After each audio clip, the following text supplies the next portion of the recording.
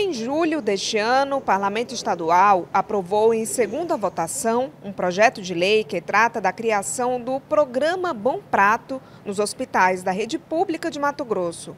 A proposta traz melhorias para a alimentação de pacientes e seus acompanhantes.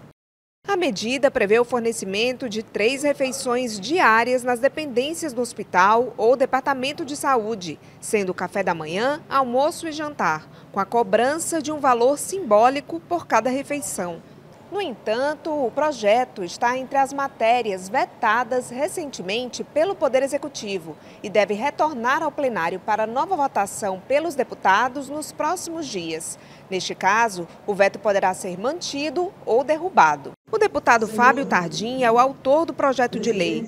Ele fez a defesa da matéria, inspirada em uma iniciativa já implementada no estado de São Paulo um projeto belíssimo que traz dignidade àquelas pessoas que estão ali dentro dos hospitais e está passando necessidade. Muitas vezes a pessoa desloca lá de Peixoto, olha o tamanho que é o nosso estado e venha para cá com um ente querido, que fica ali internado e ele não tem condições de fazer as suas refeições. E não que vai ser refeições de graça, mas sim num preço simbólico. Vou procurar a Casa Civil, vou procurar o governador Mauro Mendes para nós podermos mudar essa realidade, derrubarmos o veto, mas só, só derrubar o veto, mas sim colocar em prática um projeto dessa de suma importância para a sociedade mato-grossense.